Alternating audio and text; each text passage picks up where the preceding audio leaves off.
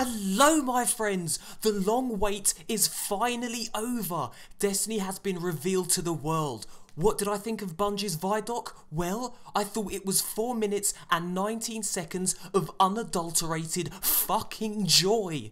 I think Destiny's 10 year mega franchise is the purest form of escapist entertainment a gamer could possibly wish for. In short, it blew my fucking mind. Destiny is a universe we'll be exploring together, you and I, for the next decade. Holy shitballs!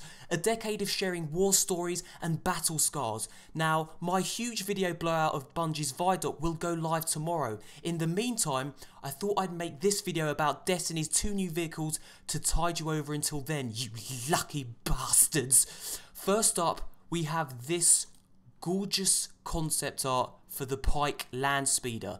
Now, many people are calling it Destiny's equivalent of Halo's Ghost, although we've not actually seen it in action, so there's no way of knowing how it will handle or when you will actually get to use one.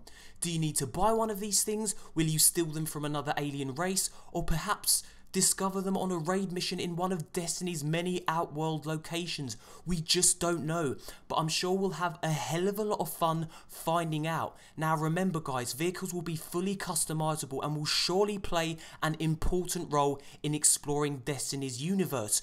Now this Pike looks like it's a single passenger vehicle. As you can see, there's only one guy on it. But who knows, maybe an extra passenger can sit on the back of it too because there's also a little bit of a space behind him. Notice also the guns on the front of this thing. Um, so expect vehicular combat just like you do in Halo. Now guys, this Pike land speeder kind of reminds me of two vehicles from Star Wars.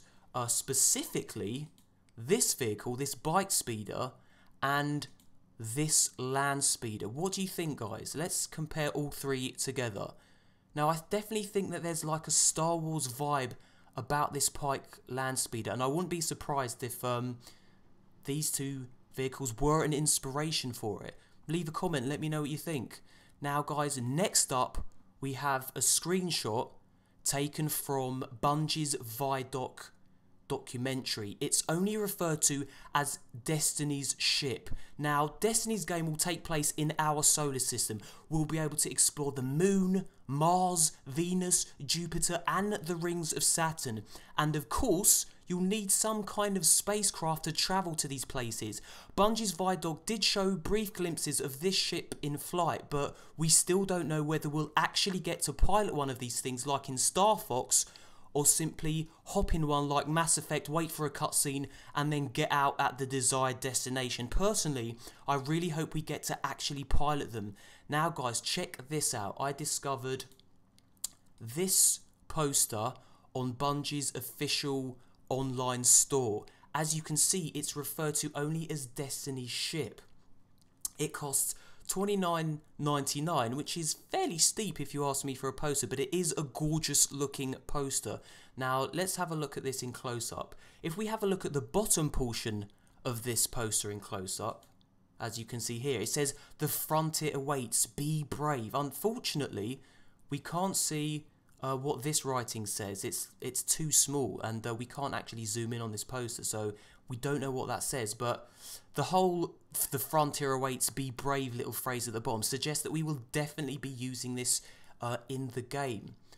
So, guys, let's um, compare this thing to the still shot that we saw earlier in Bungie's Vidoc. They definitely appear to be the same vehicle and suggest that yes, we will definitely be using it in Bungie's Destiny. In what capacity exactly, we don't know.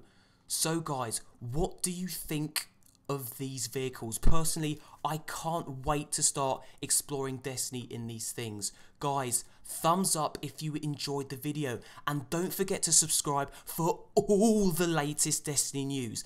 And uh, let me remind you guys that I also have a Destiny fans Facebook page. I've left a link to it in the description box below. All you have to do is click the link and click like. There are now 151 Destiny fans and I post concept art. I'll be speaking about these tomorrow actually in my um, other Destiny video. I've posted the question which version of Destiny will you purchase, Xbox 360 or PlayStation 3, and every single person that's answered has said 360. It's a unanimous vote. Everyone's going for the 360 version. Um, I'm sure there'll be some PS3 owners too. So, guys, click the link in the description box, give this Destiny fans a like, and as always, guys, thanks for watching, you beautiful bastards.